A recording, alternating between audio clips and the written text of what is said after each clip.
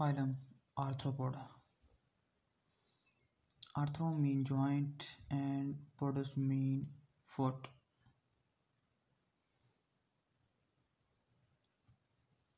Name इसको दिया है वैन सई गोल्ड ने 1945 के अंदर। Large and most successful phylum है।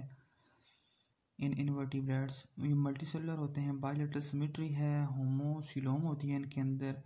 एयर, वाटर एंड सॉइल के अंदर ये रहते हैं। बॉडी गैस अगर बात करें ट्रिप्लोब्लास्टिक होते हैं, सेगमेंटेशन इनके अंदर मेटामेरिक होती है।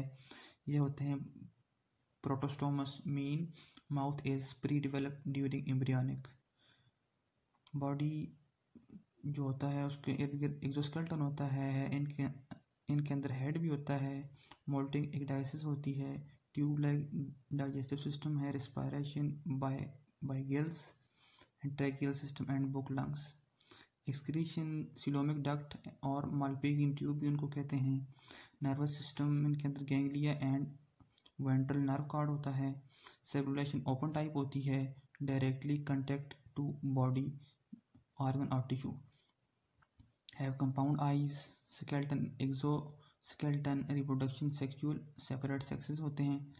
Fertilization internal and parental care parental care also present larva इनके अंदर होता है, उसको हम कहते हैं नेम्फ या इंस्टर मूवमेंट बाय वॉकिंग और फ्लाइंग एग्जांपल जो है, वो है इंसेक्टा के अंदर आती है बीज या क्रैब्स या या मिलीपीड्स सेंटीपीड्स इम्पॉर्टेंस या हार्मफुल भी होते हैं. यूज़फुल जो हैं सिल्क वॉम है हनी बी है बटरफ्लाई है स्केवेंजर इंसेक्ट हैं.